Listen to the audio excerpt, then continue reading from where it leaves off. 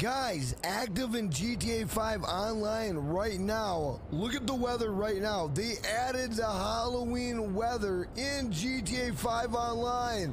Let's go. The Halloween event is saved. Hey, let's go. Thank you, Rockstar.